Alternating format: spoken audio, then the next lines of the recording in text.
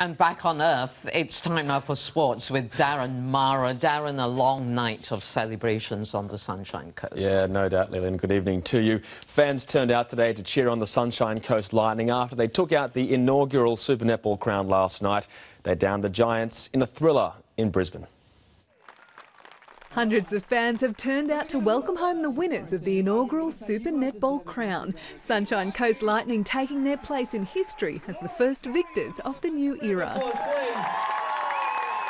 The club that didn't exist a year ago bolted to the pinnacle of netball's elite, awarded the key to the city, already promising a repeat performance. And it's looking to make sure we come in, set pre-season at another level and just take this competition to a whole nother level. So we're excited to maintain this group and just looking forward to 2018 now. But it was the New South Wales outfit off to the better start in the decider. The Giants feeding the ball into Kristina Brice unimpeded. Such a beautiful feed into the ball. Until Karla Mostert put up the defences. Mostert just read that beautifully. Giving the league's best a chance to find her stride. Caitlin Bassett looks like she's in her comfort zone. And by half time, Lightning had struck. Stephanie Wood edging out a lead. Three seconds on the shot, she makes it. Oh! As the Sunshine Coast skipper shut down the Giants shooters.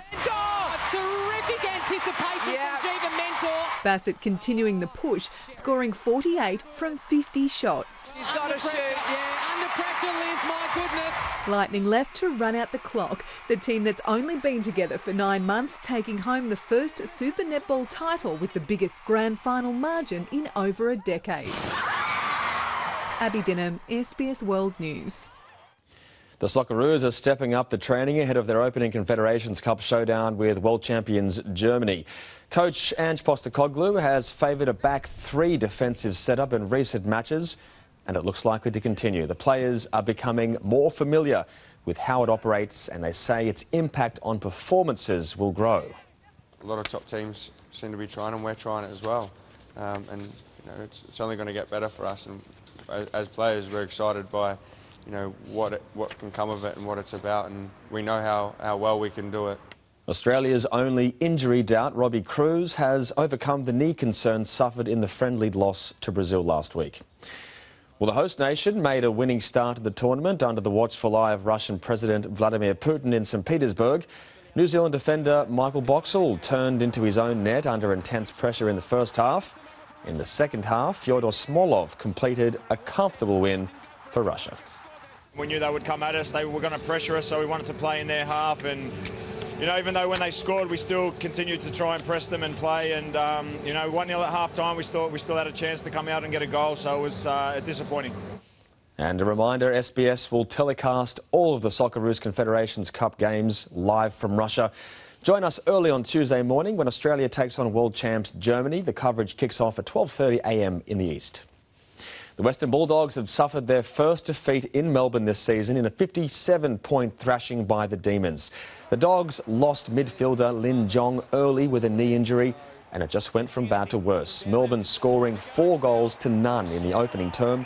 Jeff Garlett finishing off a flawless run. Marcus Bontempelli, he tried to spur on a comeback for the Dogs, but fate was sealed. The D's with three wins on the trot and a place in the top five. In the NRL, Clinton Gutherson has celebrated his return to fullback by leading Parramatta to victory against St George Illawarra. He scored both the Eels' first half tries as they built a 12-4 lead at the interval. Tries to Michael Jennings and Bevan French after the break made the advantage insurmountable. But the win came at a cost, though, with hooker Kaysa Pritchard going to hospital with a serious knee injury and Beau Scott hurting an elbow. Well, for the first time in a major 50-over final, rivals India and Pakistan meet tonight to decide this year's Champions Trophy in London. Despite the ferocious rivalry between the nations, India captain Virat Kohli says his team will treat it as just another game. Pakistan is the underdog, but coach Mickey Arthur says his side can upset India at the Oval. I said it before the England game. If we put our A game together and we do the basics well, we can, we can beat anybody.